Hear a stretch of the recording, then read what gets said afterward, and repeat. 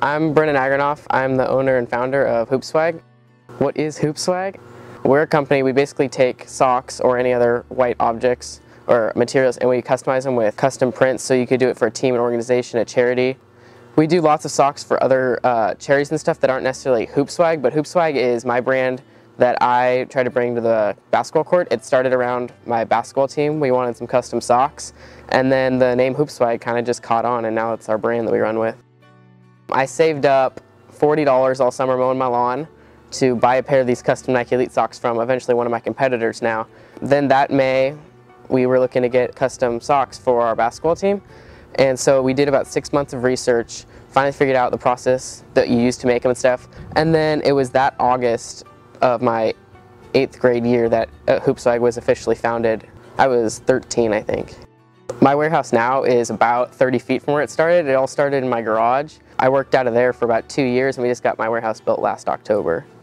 I think what keeps me dri driven and focused is that I love what I do. I do a lot of the graphic design and that's a big passion for me. I'm colorblind so it's a little bit uh, ironic that I do all the graphics behind it. And I also love the idea, I've always been obsessed since I was younger. I used to do lots of stuff on eBay and just testing and stuff. With the fact that you can sell something and have it shipped to someone, it's still kind of a crazy idea to me.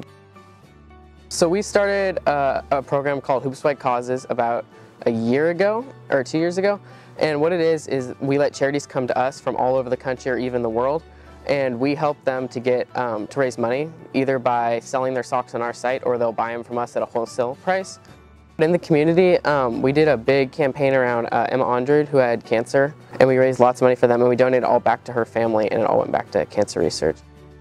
It's a really good feeling that you're able to affect someone other than just like, you can help and all, but the fact that you can actually go affect them and affect other people's lives is a really great feeling.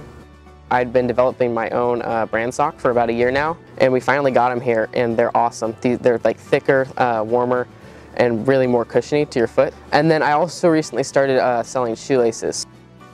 My future, I have no idea what it looks like. It changes day by day. Like tomorrow I could be going to college, the next day I couldn't. I have no idea what's going to happen. But for now I'm just going to run Hoopswagg and see where it goes.